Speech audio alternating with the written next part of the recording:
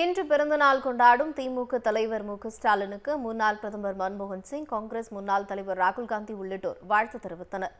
முன்னாள் பிரதமர் மன்மோகன் சிங் திமுக தலைவர் மு ஸ்டாலினை தொலைபேசியில் தொடர்பு கொண்டு பிறந்தநாள் வாழ்த்து கூறினார் இதேபோன்று காங்கிரஸ் முன்னாள் தலைவர் ராகுல் காந்தியும் தொலைபேசி மூலம் தொடர்பு கொண்டு திமுக தலைவர் மு ஸ்டாலினுக்கு பிறந்தநாள் வாழ்த்து தெரிவித்தார் திமுக தலைவர் மு ஸ்டாலின் மகிழ்ச்சியுடனும் நீண்ட ஆயுளுடனும் வாழ வாழ்த்துவதாக ராகுல் காந்தி டுவிட்டரில் பதிவிட்டுள்ளாா் மதிமுக பொதுச் செயலாளர் வைகோ சென்னை அண்ணா அறிவாலயத்திற்கு நேரில் வந்து திமுக தலைவர் மு ஸ்டாலினுக்கு பிறந்தநாள் வாழ்த்து தெரிவித்தார் இதேபோன்று இந்திய கம்யூனிஸ்ட் கட்சியின் மாநில செயலாளர் முத்தரசனும் நேரில் சந்தித்து வாழ்த்து கூறினார் பின்னர் செய்தியாளர்களிடம் பேசிய முத்தரசன் சட்டமன்ற தேர்தலில் திமுக வெற்றி பெறுவது உறுதி என கூறினார் திராவிட முன்னேற்ற கழகத்தினுடைய தலைவர் பெருமதிப்பிற்குரிய திரு மு க ஸ்டாலின் அவர்களுடைய பிறந்த நாளில் நேரில் சந்தித்து வாழ்த்துக்களை தெரிவித்தோம் நாளை நாம் அடுத்ததாக சந்திக்க போது முதலமைச்சராக உங்களை சந்திக்க போகிறேன் என்கிற வாழ்த்துக்களை தெரிவித்து வருகிறேன் நிச்சயமாக வரப்போகிற இந்த சட்டப்பேரவை தேர்தலில் திராவிட முன்னேற்ற கழகத்தின் தலைமையிலான மதச்சார்பற்ற முற்போக்கு கூட்டணி தான் மகத்தான வெற்றி பெறும் அவர் தான் அதுதான் இன்றைய திரு ஸ்டாலினுடைய பிறந்தநாள் வாழ்த்துக்கள் என தெரிவித்துக் கொள்கிறேன் விடுதலை சிறுத்தை கட்சிகள் தலைவர் தொல் திருமாவளவன் சென்னை அண்ணா அறிவாலயத்தில் திமுக தலைவர் மு ஸ்டாலினை நேரில் சந்தித்து வாழ்த்து தெரிவித்தார் பின்னர் செய்தியாளர்களிடம் பேசிய திருமாவளவன் சட்டமன்ற தேர்தலில் திமுக தலைமையிலான கூட்டணி மாபெரும் வெற்றி பெறும் என்றும் மக்களுக்கான உரிமைகளை திமுக தலைவர் மு ஸ்டாலின் மீட்டு தருவார் என்றும் கூறினார்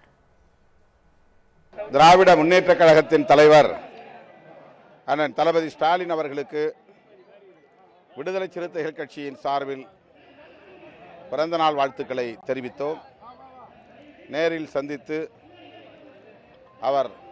நலமுடன் வளமுடன் நீடூழி வாழ வேண்டும் என்கிற எமது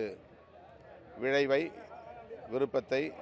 வாழ்த்தை வெளிப்படுத்தியிருக்கிறோம் எதிர்வர உள்ள சட்டப்பேரவை தேர்தலில் திராவிட முன்னேற்றக் கழகத்தின் தலைமையிலான கூட்டணி மகத்தான வெற்றியை பெற்று திமுக ஆட்சியை அமைக்கும் தலைவர் கலைஞருக்கு பிறகு கழகத்தையும் திராவிட முன்னேற்ற கழகத்தையும் தமிழகத்தையும் கட்டி காப்பாற்றக்கூடிய சனாதன சக்தியிடமிருந்து சமூக நீதியை பாதுகாக்கக்கூடிய பொறுப்பு தளபதி ஸ்டாலின் அவர்களுக்கு உள்ளது அந்த வகையில் இந்த தேர்தல்